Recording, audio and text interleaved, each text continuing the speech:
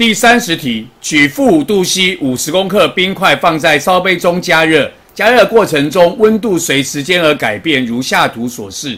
下列哪个时段中水蒸气与水共存？根据我们所学过的融化跟气化曲线，我们知道在 T one 的时候开始融化，T two 的时候呢融化结束，所以这段时间呢是所谓的融化过程。而这里呢就是所谓的固体跟液体固液共存的时候。而在 t 三的时候呢，开始沸腾；到 t 四呢，继续沸腾。所以这段过程就是在所谓的沸腾的阶段。因为是在沸腾的阶段，所以这里面就是所谓的水蒸气跟那个水液态的水呢共存的阶段。